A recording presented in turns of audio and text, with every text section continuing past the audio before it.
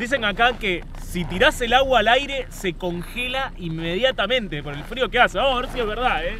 The only one condition is you don't have to move the stroke.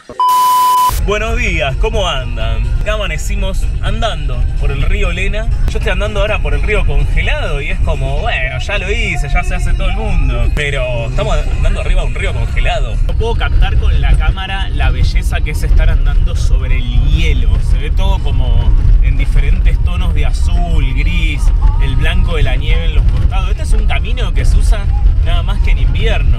En verano tienen que cruzar con barco. Y del otro lado, donde estamos yendo ahora, ahora, del otro lado del río Lena, está la estación de trenes de Nizhny... Eh, ah, la estación de trenes de Nizhny Vizhdia, que es donde llega el tren que lamentablemente me vine en avión creyendo que el tren no llegaba acá, pero ahora acabo de descubrir que llega hasta esta ciudad y bueno, lo que hay que hacer es cruzar este río congelado o en verano cruzar por barco. El tema es que en el medio, en primavera y otoño, es medio un bardo para cruzar porque todavía no está todo bien derretido. Uh, casi no la ponemos. O eh, no está no está lo suficientemente congelado para andar en auto. Es re peligroso manejar acá en el hielo porque cualquier cosa, mira ahí, ¡pum! ¿Saben qué? Terminamos tomando mate con Pelé. Estamos en el medio del río Lena. Es como una ruta, una ruta nacional hecha en el río congelado. Ah, Argentina, da. Pónganle un pullover al perrito. Miren, acá 43 grados bajo cero y está paseando en el hielo. Lindo y hermoso día para tomar unos mates, ¿no? Ah, acá me traje, vamos a tomar mate en un río congelado. Algo que no sé si ha sucedido alguna vez, al menos en esta parte del mundo.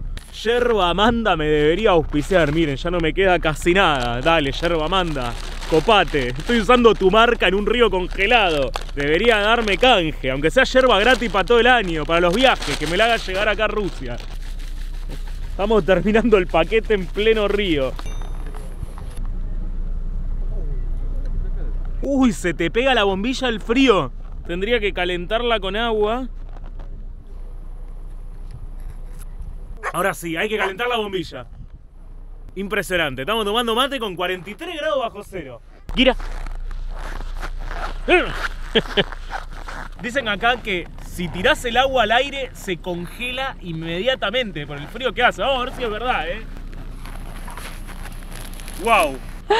Loco, es agua a temperatura de mate, a 80 grados positivos y con los 40 negativos se hace hielo al toque. Me quedé sin agua para el mate, pero había que hacer la prueba. Y la yerba la hacemos volver a la pacha. Y ya me veo que genero tremenda contaminación cruzada y empieza a crecer yerba mate en Yakutska. En esta ruta acá hay banda de autos, todo, pero si te alejas un poco más en el río, es como la llamada ruta de los huesos. Porque mucha gente se le rompe el auto acá, no hay señal, no hay nada, no la rescata nadie. Y mueren acá, congelados. Muchos tienen radio UHF, entonces con eso, bueno, la pueden zafar, pero muchos la quedaron y la suelen llamar la ruta de los huesos por eso. 42 grados bajo cero. Lindo, ¿eh? Estamos acá en una cena yakutiana con el arbolito de Navidad, todo. Y acá amigas de Yakutia que están hablando en yakutiano. How is to live in Yakutia? You like the cold weather? or- No. No. But I, I love it. I loved You love the cold weather. Yeah. Yeah, yeah, yeah. I'm not, I'm not like. But for example, if it is 40 degrees below zero, for you it's cold or not? it's nice. It's nice. It's amazing. If it's 30 below zero, it's warm. Yeah, right. Yeah. Ayer pasó que estaba haciendo 30 bajo cero y dijeron, está lindo el día, ¿eh? In, in winter, it's the best when it's minus 30. Which is your record? 50 below zero, 50 something? 55. 55. Lo bueno es que Katrin, que es acá mi amiga en Chakutska, es profesora de inglés, entonces tiene a sus amigas que son compañeras de trabajo, que son profesoras de inglés también, entonces hablan inglés, pero es difícil encontrar gente que hable inglés acá en Yakutsk. Vamos a hacer probar una vez más el mate. Los que me conocen saben que sé unos mates horribles. The only one condition is you don't have to move the stroke. Uh, it's like tobacco. Mm. Вот табак You don't like it? Белогорка на округу. I told you, it's like a cigar. Really? You think so? But no, it's not cigar, it's nothing to do. Están desescamando el pescado. Están comiendo los pedazos de pescado congelado con sal. Lo mojan en sal y se lo mandan así sin cocinar nada, congelado. Miren el siberiano cómo se morfa todo, las escamas ahí restantes.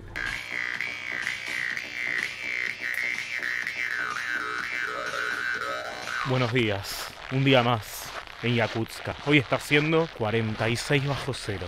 Es mi récord de temperatura. Y se siente la diferencia, ¿eh? Entre 36 bajo cero y 46 bajo cero.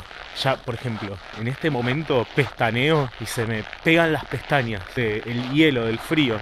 Está como más nevado todo también. Se ve que cayó más rocío. Siento ahí toda la barba pegoteada de, de hielo. Y encima no hay nadie en la calle.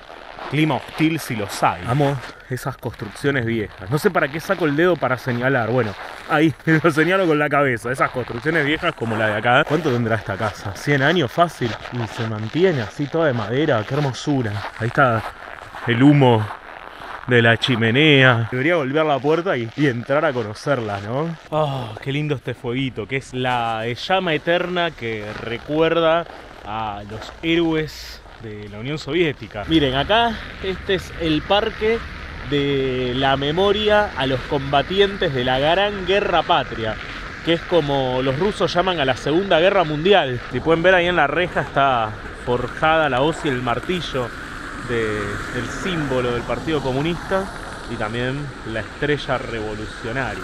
Y esto en realidad es el centro histórico. Acá están como las construcciones más viejas de la ciudad. De hecho está el primer fuerte que construyeron de madera. Tiene unos 500 años. Y bueno, hoy está cerrado el fuerte. Acá está toda la historia. ¿Ustedes la entienden? Yo tampoco. Está todo en ruso y siempre me ayudo con el traductor de Google, pero la batería del celular ya pasó a mejor vida. Encima en mi cabeza solo suena una canción. Hace frío y estoy lejos de casa. Estoy como todo el tiempo así, hace frío y lejos de casa, pero qué hermoso gente que es acá, la verdad. Muchos de ustedes van a decir, Topo, estás loco. Otros van a decir, cómo quisiera ir a estos lugares. Gracias por mostrarnos lugares que nunca iría. Y la verdad que si tienen la oportunidad en la vida, vengan. Es hermoso conocer cómo es vivir en un lugar así, tan distinto a lo que estamos acostumbrados en la mayoría del mundo, ¿no? Está bien, en muchos lugares hace frío y todo, pero este frío zarpado, pocos lugares. El único, en realidad. Hace cinco minutos sentía frío en los pies. Y ahora es como que dejé de sentir frío. No sé si es que el cerebro agarró y dijo, che, mandemos sangre para ahí abajo porque si no nos fundimos. Pero ahora estoy perfecto. Por suerte acá tienen una parada de colectivos cerrada. Y me vine a usar el celular porque afuera no me anda, no me carga. Ahí estamos, eh. 43 bajo cero. Hello Constant Concept. Una vez que empezás a caminar, no solo que no tenés frío, sino que transpirás. Yo abajo de esta campera estoy transpirando, ¿eh? Es re Into the Wild esta imagen. No, miren esto. Acá el amigo está saliendo a correr con 43 grados bajo cero. Para yo. Claro, ven, esta es una parada de colectivo común y corriente. Qué garrón tener que esperarlo acá. Que no tenés calefacción, nada. Les digo que estoy así caminando recontra reflexivo. Estoy pensando un montón de cosas, planes para este año, ideas. Creo que este clima es para mí. Algún ancestro debo tener de estos lares porque me siento muy en casa acá. Ah, loco, quiero ir al baño. Acá estamos en una estación de servicio y está cerrada, no hay nadie. Es autoservice. Ah, no sé, no me animo a hacer en un arbolito. ¿Qué dice? Como que llega un punto donde todo se te congela. Esto que es la bufanda es un pedazo de cartón. Ah, me acabo de caer a la mierda, gente. Chuk chut, chut chut, despasiva. Despasiva. Todo concluye al fin. Estamos en el aeropuerto de Yakutska con 37 grados bajo cero, la misma temperatura que el día en que llegué, pero ya menos temeroso del frío, la verdad que se sobrevive, miren cómo estoy, está bien, es un ratito, es un ratito, pero se sobrevive a tanto frío, 5 minutos afuera así no pasa nada. La verdad que fue una experiencia hermosa donde sentí el calor de la gente a pesar del tremendo frío que hace temperatura extrema en nuestro planeta Tierra, experiencia maravillosa y con ganas de regresar en algún momento y me voy realmente muy, muy, muy, muy satisfecho. Espero que les haya gustado este capítulo y nos veremos la próxima con muchas más aventuras en esta maravillosa tierra rusa.